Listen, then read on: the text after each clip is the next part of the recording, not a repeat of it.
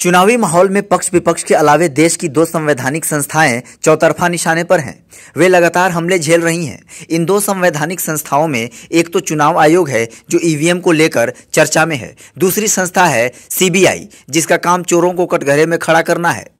इन पर हमले भी उस तरफ़ से हो रहे हैं, जिस तरफ़ या तो दागदार खड़े हैं या उनको बचाने की मंशा रखने वाले लोग। सीबीआई पर ताज़ा हमला, पश्चिम बंगाल में सुप्रीम कोर्ट के आदेश पर शारदा चिटफंड मामले की जाँच करने पहुँची, उसकी टीम को बंधक बनाने के रूप में सामने आया। आपको बता दें कि सुप्रीम कोर्ट के आदेश पर अरबों के घोटाले वाले शारदा चिटफंड मामले की जाँच कर रही सीबीआई की एक टीम, पश्चिम बंगाल के विवादास्पद पुलिस ऑफिसर राजीव कुमार से पूछताछ करने उनके आवास पर पहुँची। कोलकाता पुलिस कमिश्नर के घर पहुँचे सीबीआई अधिकारियों को कोलकाता पुलिस ने रोक दिया। पुलिस ने सीबीआई को वारंट दिखाने को कहा तथा उन्हें कोलकाता पुलिस आयुक्त के आवास से बाहर जबरन पुलिस स्टेशन ले जाया गया।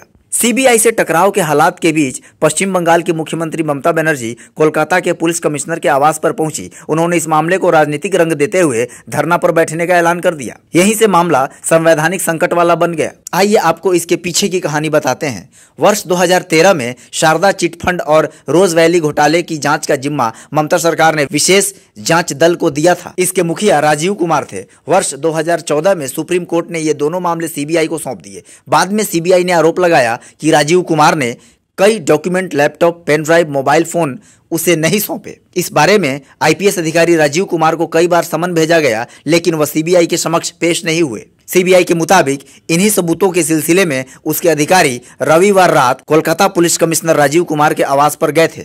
मालूम हो कि शारदा स्कैम करीब 2500 करोड़ रुपए का है और रोज वैली स्कैम करीब सत्रह हज़ार करोड़ रुपए से ज़्यादा का है। अधिकारियों के मुताबिक, दोनों ही मामलों में आरोपियों के कथित तौर पर सत्ताधारी टीएमसी से लिंक पाए गए हैं। इन दोनों ही चिटफंड घोटालों की जाँच सीबीआई कर रही है। इस मामले में बीती 11 जनवरी को सीबीआई ने पूर्व वित्त मंत्री पी चिदम्बरम की पत्नी नलिनी चिदम्बरम के खिलाफ आरोप पत्र दाखिल किया था। अब देखना यह है कि घोटालों की जाँच कर रही सीबीआई के अधिकारियों की गिरफ्तारी के बाद धरना पर बैठे पुलिस कमिश्नर और उसके साथ ही धरना पर बैठी पश्चिम बंगाल की मुख्यमंत्री ममता बनर्जी इस मामले को किस प्रकार का राजनीतिक रंग दे रही है और इस परिप्रेक्ष्य में केंद्र किस प्रकार के कदम उठाने जा रहा है। देश विदेश की तमाम घटनाओं को जानने के लिए आप देखते रहिए सोतो समाचार। धन्यवाद।